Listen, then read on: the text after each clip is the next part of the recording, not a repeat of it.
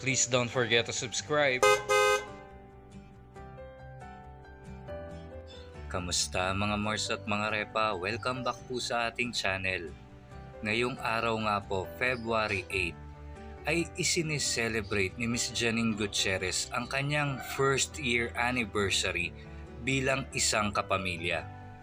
Parang kailan lamang po nang pag-usapan ang biglaang paglipat nito mula kapuso patungo sa Kapamilya Network. At buhat nga po noon ay talaga nga naman sangkatutak na mga project ang ginawa at gagawin pa ni Miss Janine Gutierrez. At sa kasulukuyan nga po as we speak ay naka-lock-in taping na ito para sa kanilang pelikulang Sleep With Me nakabilang si Miss Lobby Poe. Pero syempre naman po hindi makakalimutan ni Miss Janine Gutierrez ang kanyang mga fans. Kaya ngayong first year anniversary nito bilang isang kapamilya ay may mensahe ito para sa kanyang mga tagahanga at mga fans. Basahin po natin.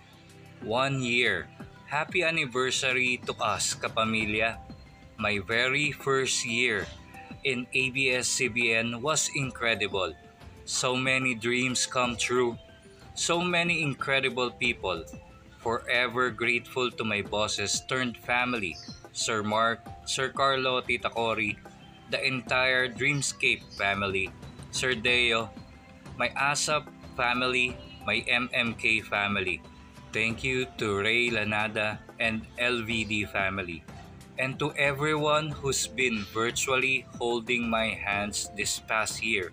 You, every single like, comment, message means the world to me. From the bottom of my heart, thank you for the love, Kapamilya. We're only getting started. Today, lock-in starts for Sleep With Me. Let's go! Nakakatuwa talaga itong si Miss Janine Gutierrez dahil sa kasikatan na kanyang natatamo sa ngayon ay hindi nito nakakalimutan lumingon kung sino ang mga taong tumulong sa kanya at magpasalamat sa mga ito. Ayan, happy first anniversary Miss Janine Gutierrez bilang isang kapamilya. We are always here to support you and love you.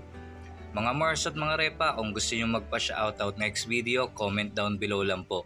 At syempre kung nagustuhan nyo ang video na ito, please like, subscribe, share, and hit the notification bell para lagi kayong updated sa mga chika at trendings. Salamat at ingat po kayo lagi.